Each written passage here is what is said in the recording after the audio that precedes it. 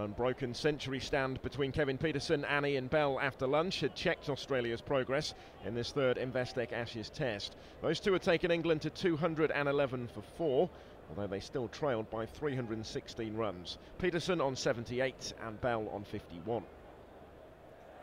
With Bell again playing beautifully for most of his innings, this was a big breakthrough for Australia. Bowled not long after the restart by Ryan Harris for 60. The fifth wicket partnership ended for 115 and England still with some work to do to avoid the follow-on.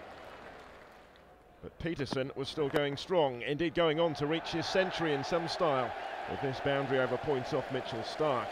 The 23rd ton of his Test career, although this was his first at Old Trafford, and a timely one at that.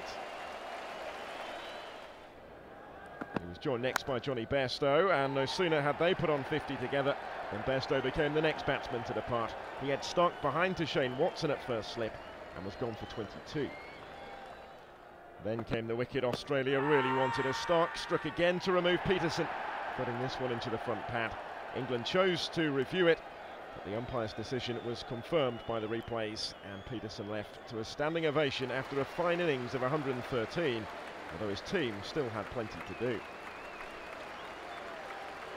Matt and Stuart Broad defended to the close of day three with four maiden overs to finish as England reached 294 for seven, Prior on six and Broad nine. Still 34 runs short of avoiding the follow-on and trailing Australia by 233 runs with two days left in the Test match.